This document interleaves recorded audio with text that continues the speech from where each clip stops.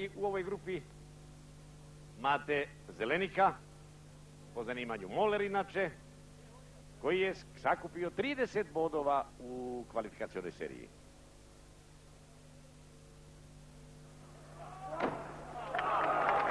Ništa vode nije izbacio, tako reći ni kap. Tri desetke. Tri desetke i sada me interesuje kako će se odlučiti ko je prvi. Naime, najvjerovatnije da će prvo mjesto dijeliti Alija Ajanić i Mate Zelenika. Očekujemo veterana skokova sa Starog mosta u Mostaru, Matu Zeleniku. Moler 23 puta je do sada nastupao.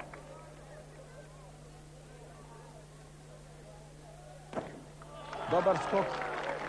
Malo je vode izbacio, što je itekako dobro. Pri odluci žirija i maksimalnih 30 bodova.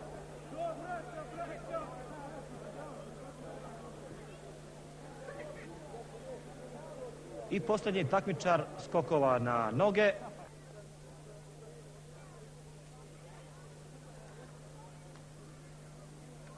Podsjetimo se još jednom.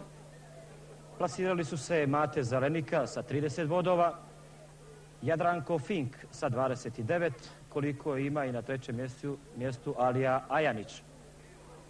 Tu je i Jaso Kajtaz, Enes Mutap i Benaid Kalajđić. Svakog trenutka očekujemo na mostu Matu Zeleniku.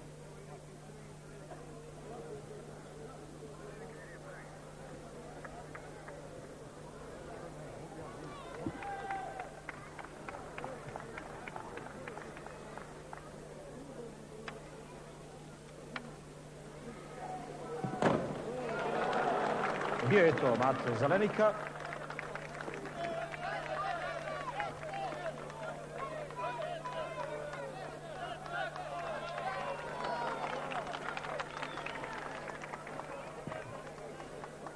I za ovaj skok je dobio maksimalnih 30 bodova.